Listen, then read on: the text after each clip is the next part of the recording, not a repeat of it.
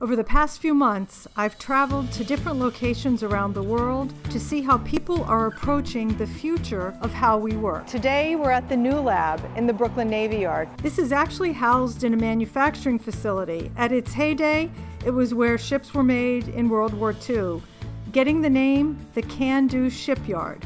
Well, that can do spirit is still alive today, this time with the creative spirit of startup companies. I'm uh, Jared Skuglik. I'm an executive vice president here at New Lab, and we are a creative and collaborative working space. We house over 80 growth stage companies. We see New Lab as a place to bring together these companies. Um, again, 80 different companies in this community in an open working environment. So we're here at New Lab yeah. also looking at the, sort of where work is going in the future, how people are working. Why, why did New Lab appeal to you and what are you getting out of it?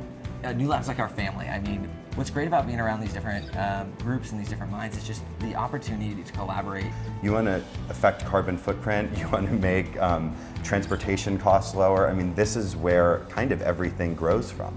I also think that the thing about New Lab is it's like much like people talked about starting companies in Silicon Valley and software companies, it's the maximum number of collisionable hours to find people that are helpful to your business. Um, and you were one of the first companies here in New Lab. What, what's the benefit of working in a space like this? It really comes down to the people that they bring and curate into this environment. Uh, they're highly collaborative and really fun to work with. Today I'm talking to Audrey Gelman, an entrepreneur who's creating the future of work for women at work here at The Wing. I'm the founder, co-founder of The Wing, which is a women's workspace and community space. Um, and our vision was really to sort of resurrect the concept of women's clubs that existed and were a huge part of the suffrage movement. So what I take away from today's conversation is that the future of work is going to be a lot about how you express yourself, about the communities that you want to be part of, about your identity.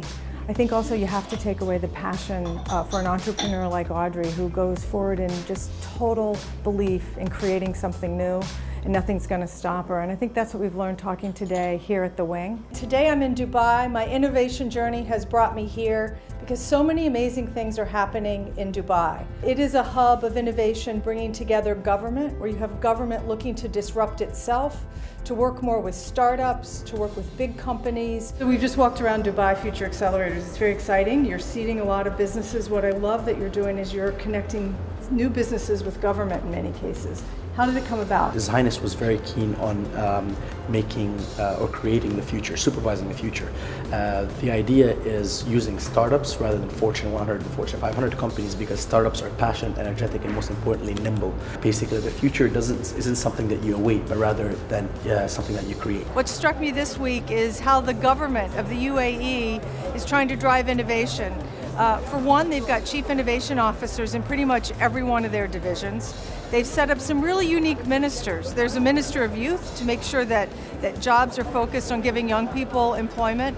There's a minister of happiness to make sure that work that happens here provides fulfillment and happiness. There's a minister of tolerance to make sure that people think about uh, diversity, diversity of thought, and my favorite, the minister of the future, to set a vision, to make sure that uh, the UAE is focused on things like we're doing here, the future of manufacturing.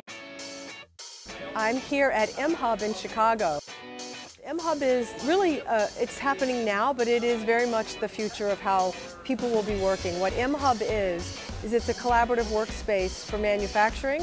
It brings together the physical and the digital and allows entrepreneurs and small uh, batch suppliers an opportunity to create new technologies and tap into a community of intellect. Perception of America, you know, with manufacturing, it feels like a dirty job. It's you know usually in a basement. It's greasy. It's oily. But that's not what manufacturing is these days. You know, it takes a higher skill set to do some of the, the digital manufacturing and um, you know some of the processes that are developed are a lot more efficient. The future of manufacturing is digital, but it's about community. In the past, it was about physical infrastructure and expensive machines. Now it's about being fast and being digital and having it distributed. We hope that over the next decade we'll move from about 300,000 factories in America that look like GE factories to 3 million factories that look like this or in people's garages so I think this libraries. is really important to just pause on this. This yeah. is the future. This is the future and it's also happening right now. It's about collaboration between big companies and small. It's about community, opening up to the best ideas wherever they may come from, policy that encourages big and small to work together, and it's seeding technology for the future and moving at a pace that keeps up with what's new and allows room to scale. This is the future of work.